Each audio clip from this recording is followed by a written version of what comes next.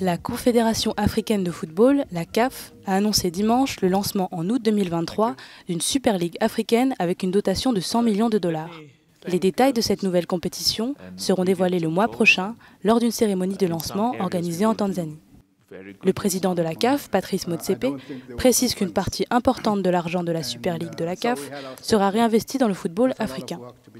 Une partie du processus consiste à donner 1 million de dollars chaque année à chacune des 54 associations membres de la CAF en tant que contribution au développement du football et de la jeunesse.